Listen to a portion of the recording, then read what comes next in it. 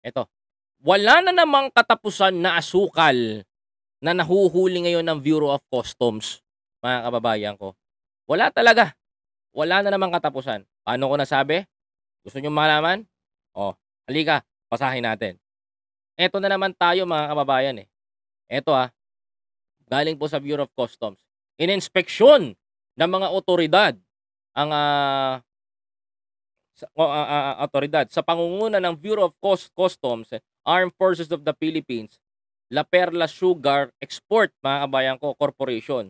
Sugar Warehouse sa Quezon City nitong Martes, August 23, ginawa itong mga ginawa nitong mga tauhan ng pamahalaan para tiyaking may clearance, ayan ha, may clearance sa Sugar Regulatory Commission ang mga nagpapasok ng produkto sa bansa, mga kababayan. Ito, ito export to. Hino-hoarding, mga kababayan ko. Tingnan natin ha. Babasahin ko po sa inyo. Sa kanilang uh, pag inspeksyon sa naturang warehouse, natagpuan nila ang 57,000 na sako ng imported na refined sugar mula sa Thailand na naman. Ayan, natabi ko na na nga ba eh. Tinatayang nasa 285 million ang halaga ng bawat uh, ng bawat sako ay may nilalamang 50 kilos na asukal na nasa 5,000 pesos naman ang halaga. Ayan, yung white sugar. Ito na naman tayo. Ayan, usapang usapan na naman tayong na nakaw. Ang legal na nakaw pala mga kababayan ko. Para mas maintindihan nyo pa, mga kababayan. Baka mas ma, para mas maintindihan nyo pa. Eto na naman yan. Ginagawa.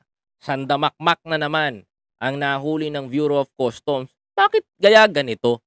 Bakit kaya ganito? Ano bang paano ba kumikita itong mga tao na to sa pagho-hoarding at pagpapalabas ng uh, ng mga ganitong uh, smuggled na na asukal? Mga kababayan ko, ganito yan. Ang gagawin ng gagawin nila, iho-hoarding nila, patataasin yung presyo, hindi nila ibebenta sa market kasi ang plano ng iba, mag-angkat pa ulit, kapag nakapag-angkat, saka ilalabas yan. Mga kababayan ko. For example, dumating na. Eh nahuli sa nahuli sa Bataan, nasa Subic, yung uh, ah, 7,000 tons na asukal na binaba galing Thailand. Nabulilyaso eh. Nabuko eh yung importation. Ngayon, mga ko, sa warehouse na yan, tambak na. Sasabayan ngayon nila yung trending nitong nawawalan ng shortage ng asukal, magwo-worry ang mga Pilipino, magwo-worry yung mga companies ng soft drinks, mga kababayan ko, dahil walang asukal na makuha, walang pampatamis. Ngayon, ang gagawin ng mga smuggler na to, na magagaling, saka ngayon nila ilalabas yan. Saka ngayon nila ilalabas yung mga tinatago nila sa warehouse na sako-sako at toneto niladang asukal. Nang sa ganon, maibenta nila sa merkado ng mas mataas mga kababayan. Ayan ang gagawin nila. Tapos mga kababayan ko, natural, papasok na ngayon. Yung uh, papasok na ngayon itong uh, papasok na ito ngayong uh, uh, smuggled na asukal. Isasalpak ulit nila yan sa warehouse, mga kababayan ko. Chechempo ulit yan, mga yan, mga kababayan ko ng ano, shortage na naman ulit mga kababayan. Nang sa ganun, mapa, ma, mataas na naman nilang maibebenta ang produktong asukal sa merkado, eh double jeopardy na to. Dalawa-dalawang trabaho na to. Double kickback ang mga ito mga kababayan. Ang tanong dito mga kababayan ko, natuwa ba ang mga Pilipino? Natuwa ba kayo mga Pilipino? Masaya ba mga kababayan ko? Yung mga dito, yung mga iba dito sa atin, yung lagi nagso-soft drinks. Baka magulat kayo pag kumain kayo doon sa tindahan ni Jollibee. Wala na kayong mabiling, wala nang soft drinks na i-offer. Puro Nesty iced tea na lang ang ibibigay nila. Baka pag kumain kayo sa Mac Macdo, mga kababayan ko, eh, wala na kayong mabiling uh, soft drinks, wala nang Mac float. Bakit? Wala nang asukal. Hino-hoarding nila. 'Di ba? Eh, I'm just kidding. Kidding lang. Uh, may example ko lang 'yon na pwedeng mangyari. Baka magulat kayo sa mga tindahan, wala nang coke mismo. Wala nang asukal eh. Pangunahin ang asukal na nagpapatamis sa lahat. Mga kababayan ko. Ba? Anong gagawin nyo? Ano pang anong susunod dun, mga kababayan ko? Wala na. Tapos na kayo. Hanggang dun na lang kayo. 'Di ba mga kababayan ko? Saan pa kayo pupunta? Saan pa tayo dadala? Saan pa tayo mapupunta dito? Saan pa tayo madadala? 'Di ba? Hoy, dumayo si kapatid na ex-crew. Ah, ha, ha, ha. Natawa ako sa thumbnail ng asukal tapos ngayon asin naman. Sa storage ta storage tayo tol. Oo nga ex-crew. Alam mo tol, ah, ako ah, eto tignan natin yung ah, kung magbukas pupunta ako ng Malabon, may pagawaan, I mean may production ng asin doon. Dadalawin ko 'yun. Ay, ex-crew, ah, inaantay ka namin sa UBIP ha. Nakita ko na yung ano nyo. Alam nyo ha, yan ang pinakamasakit doon. Nagkakanakawan na nga ng asukal, nagkakanakawan pa tayo. Magkakanakawan pa tayo sa asin. Hindi na ako magsasa magtataka. Sunod yan, harina. Harina, shortage. Baka mamaya hindi na. Kaya, kaya pa nagtataka ako mga kababayan ko. Pati yung carrot, sibuyas. Putya yan. Pati yung puting sibuyas, nagkakaubusan na rin. Alam mo ha, ito lang napatunayan ko sa lahat. Sa panahon ni ano sa panahon ng administrasyon ni Pangulong Ferdinand Bongbong Marcos, mga kababayan ko ha, lahat ng kurap tinatamaan. Lahat ng nagnanakaw sa gobyerno nung mga panahon ni Pangulong Duterte, ngayon mga kababayan ko, tinatamaan. Bistado sa asukal, sinunod ng asin, naglabas ng puting sibuyas. mga kababayan. Ano pang susunod nito? Ano pang susunod na mangyayari nito sa bansa natin? Ako ah, wake up call to sa lahat ng Pilipino and sa lahat ng mga nanonood sa ating opisyal.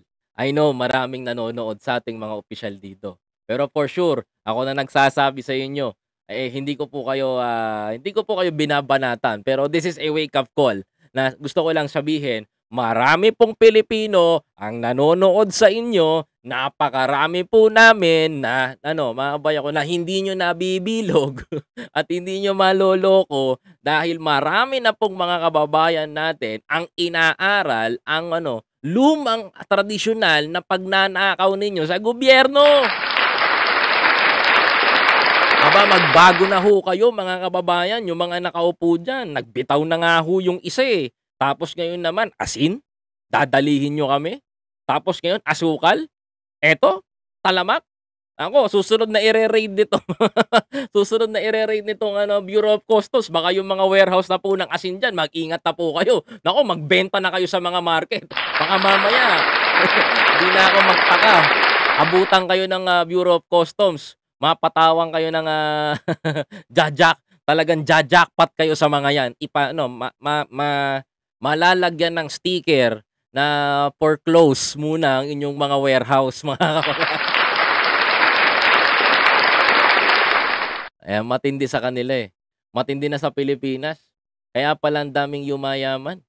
Dahil pala yung mga opisyal eh, di ko naman sila lahat. Nakikita ko eh, parang uh, nagnanakaw sa ating mga sa ating mga hindi hindi nga nagnanakaw sa kaban ng bayan. Nagnanakaw naman sa bawat Pilipino na gumagamit ng asukal, asin, harina, sibuyas. Di na ako magtataka baka pati chlorine ha. Baka, baka pati chlorine. Ipang-export nyo pa yan. O baka, baka sabihin nyo pati manok nagkakaubusan din. Baka sabihin nyo, pati galunggong ha, mag-export pa tayo, mahiya kayo, sandamakmak mo sa Pilipinas ang galunggong. Ha? Baka mamaya magulat ako pagkatapos ng asin. Yung uh, sakto yan, nilalagay naman sa ni, sakto naman yan, yung galunggong nilalagyan natin ng asin talaga yan para sumarap pag piniprito. Baka mamaya pati galunggong. Ha? Ako wake up call to sa lahat ng taga DA. Baka mamaya, ha, hindi ko binabanatan ng pangulo ng Pilipinas. Mahal ko si Pangulong Bongbong Marcos kaya nga nag-iingay kami ng ganito. Ha? Baka sabihin ng iba, ha? Magpapauna ko lang. Baka mamaya, mag, mag, mag-export, mag-import na naman tayo ng galunggong. Ang daming galunggong sa Pilipinas. Bigyan lang natin ng halaga ang mga nangingisda at ang mga farmers natin. Lalago tayo. Susunod, hindi na tayo mangunguha ng mga ng hindi naman sa hindi naman galing sa bansa natin kung kaya naman natin sa bansa natin, di ba mga kabayan? yung mga inutil na, na namimira sa gobyerno, nako, umanda-handa na kayo. Buti na lang, si Pangulong Bongbong Marcos may talino't may utak. May galing sa agrikultura. Kaya magbilang-bilang na kayo ng araw.